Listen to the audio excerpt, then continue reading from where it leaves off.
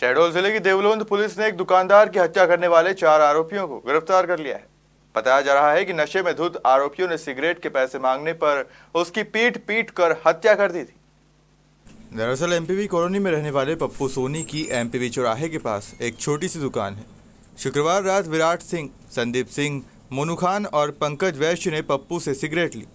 जब ये लोग जाने लगे तो पप्पू ने सिगरेट के पैसे मांगे तो आरोपियों ने पैसे देने से मना कर दिया। इस बात पर विवाद होने लगा। गुस्साए आरोपियों ने पप्पू को पीटना शुरू कर दिया। पप्पू के परिवार वालों को घटना का पता चलते ही वो मौके पर पहुँच गए।